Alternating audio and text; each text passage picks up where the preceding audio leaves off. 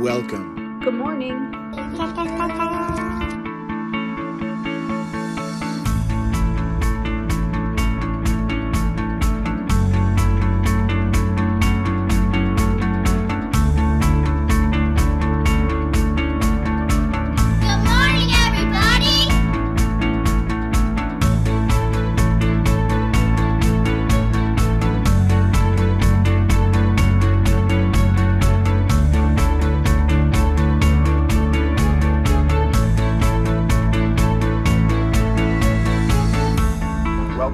Belgrade Online. An online ministry of Belgrade Avenue United Methodist Church.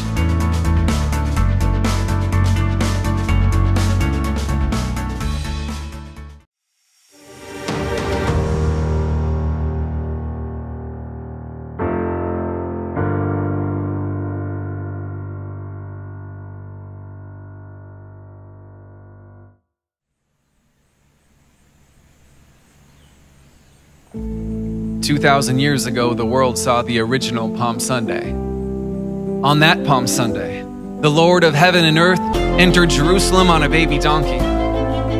He didn't come to us with power and magnificence, but with meekness and gentleness. On that Palm Sunday, those who sang Hosanna would five days later shout, Crucify him. On that Palm Sunday, Jesus turned his face toward Jerusalem where he would endure the most painful and humiliating kind of death, the kind of death that would save the world. Palm Sunday is a reminder of who Jesus is and who we should be as we follow him. Palm Sunday reminds us that the way of Jesus is the way of the donkey, the way of humility, the way of gentleness. Palm Sunday reminds us that it's totally possible to be with Jesus on Sunday, but forsake him on Friday. And Palm Sunday reminds us that Friday is coming.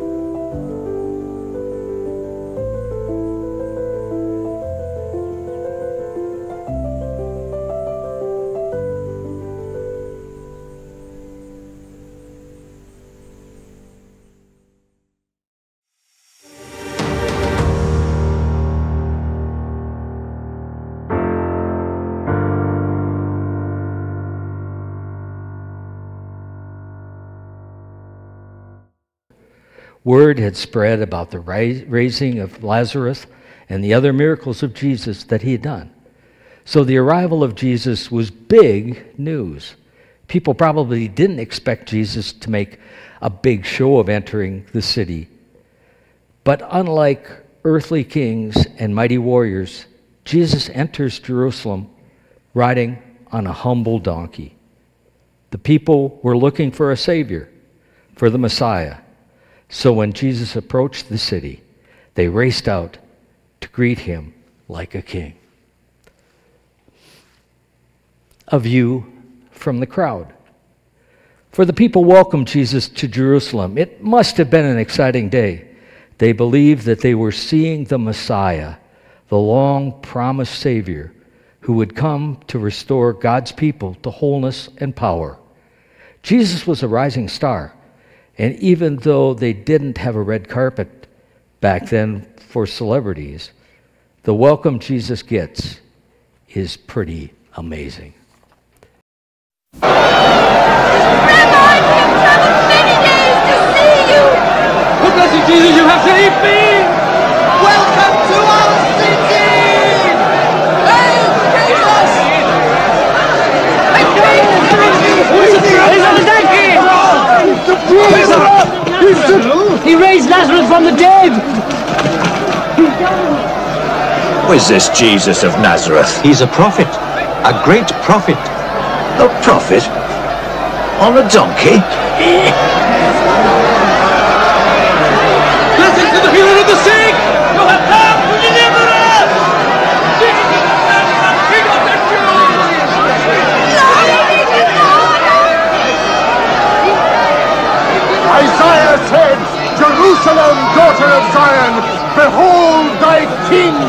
Cometh unto thee, humble and meek.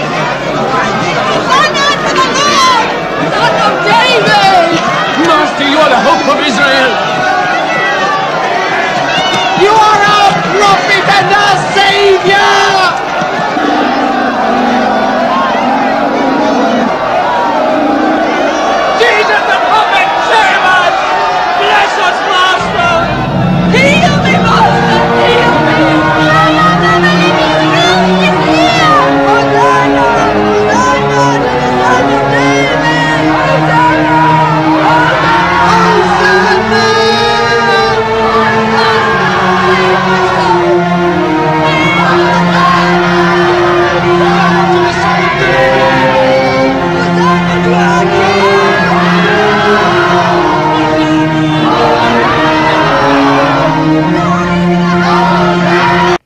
We saw the priest looking down upon the entry of Jesus into Jerusalem, I can only wonder if he thought, so what does this mean?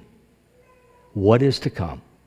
What is going to come upon the city of Jerusalem? We're going to view next a video by Randy Frazee, who has written God's story.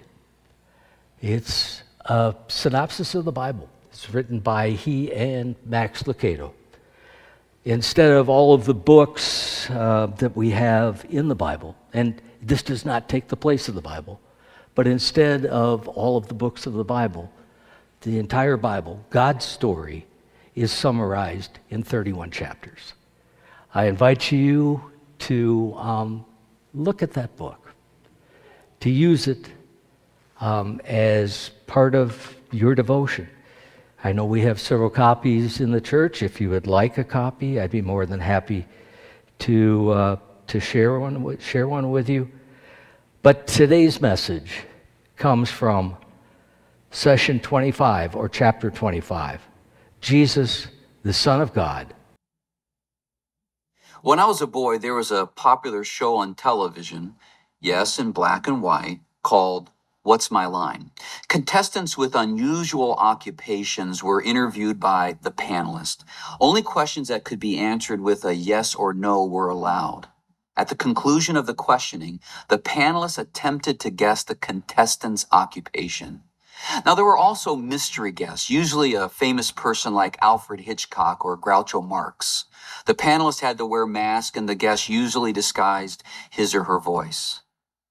This chapter of the story could be entitled, What's My Line? Jesus is the guest with the unusual occupation.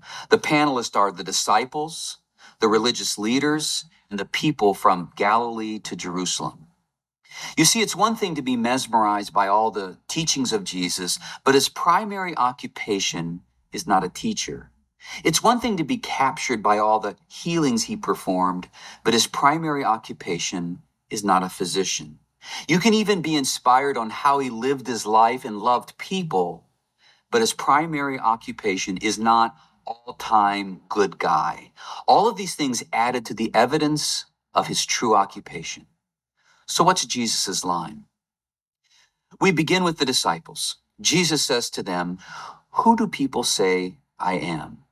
They replied, Some say John the Baptist, others say Elijah, and still others, one of the prophets. But what about you? He asked. Who do you say I am? Peter answered, You are the Messiah. Now, Peter answered correctly, but he wasn't dialed in on the exact job description for the Messiah. So Jesus began to teach them that the Son of Man must suffer many things and be rejected by the elders, the chief priest, and the teachers of the law, and that he must be killed and after three days rise again. Now, Peter didn't like the idea and he decides to rebuke Jesus. Jesus responds, Get behind me, Satan. You do not have in mind the concerns of God, but merely human concerns. He told Peter he was thinking completely from the lower story and missing the upper story plan. Next, Jesus goes to Jerusalem. The religious leaders and the common citizens are now the panelists. Jesus goes during a popular holiday for the Jewish people called the Feast of Tabernacles, which meant the city was packed with people. People began to guess Jesus' occupation. Some said, He's a good man. Others said, No, he deceives people. About halfway through the festival, Jesus gets up and starts to teach. They ask the question, How did this man get such learnings without having been taught? Good question that demands an answer. After hearing his teaching, some of the panelists guessed, Surely this man is the prophet. Others said, He's the Messiah. Still others ask, How can the Messiah come from Galilee?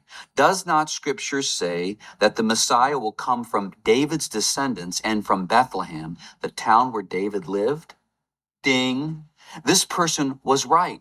Check the facts. Jesus is from the lineage of David and he was born in Bethlehem. Jesus then started dropping clues.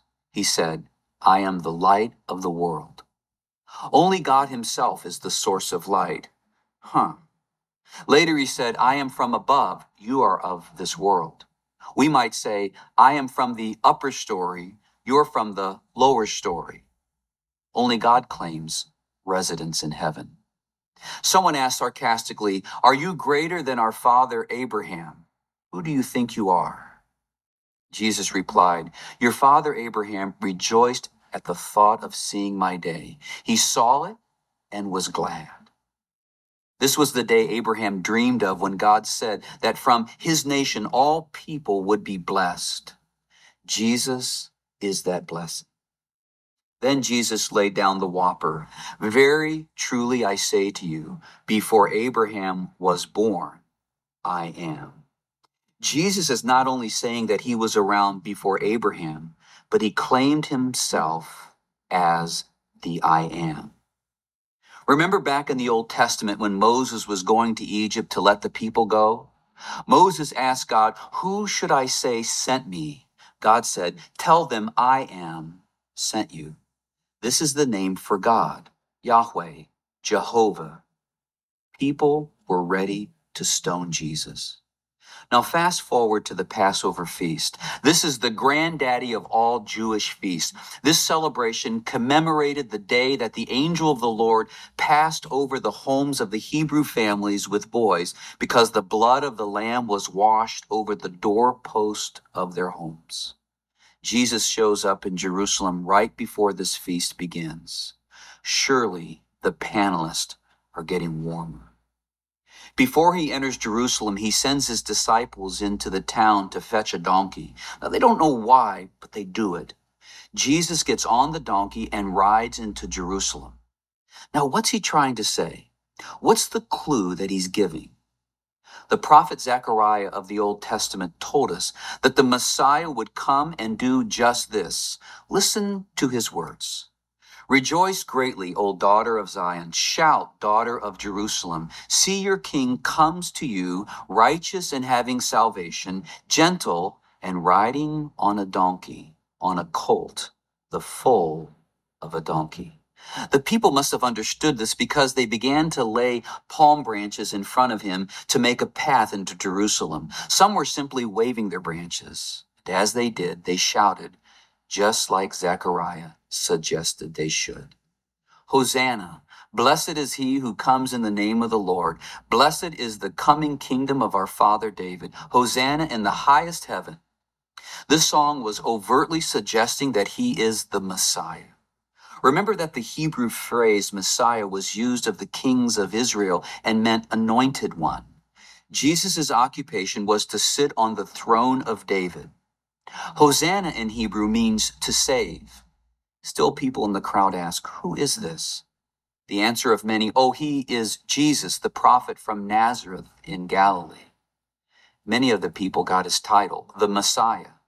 Many people were still clueless, but none guessed his true occupation. None knew what this Messiah was called to do. They most likely thought that the Messiah would come to become their king and restore them to political greatness over Rome, a mere lower story accomplishment. But God had a grander plan for Jesus, a higher, upper story assignment. The one group he spoke plainly to was his disciples. He told them, They will condemn me to death and will hand me over to the Gentiles, who will mock me and spit on me and kill me. Three days later, I will rise. He told them plainly, but I don't think it truly sank into their soul. What is Jesus' line? You are now the panelist. What do you think? We now know God's full plan.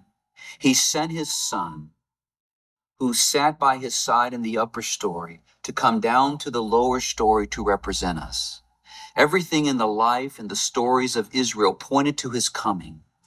God's plan is for him to die. He is going to pay for our sins so we can be made right with God and come back into a personal relationship with him like Adam and Eve had before the fall. He is the Lamb without blemish that died a million times in all those sacrifices in Israel. He is God. He is the Lamb of God offered up for our sins. That's Jesus' line, and it's all going to come down in the next chapter.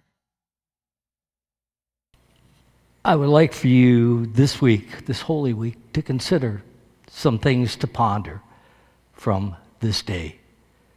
Those things are is it really Jesus and everything about him?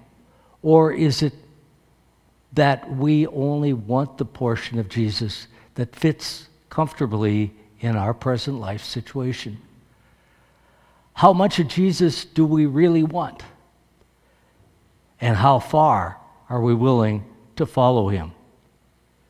Will we celebrate him today and scatter when he asks for us hard things that our eyes cannot see and our finite minds cannot comprehend?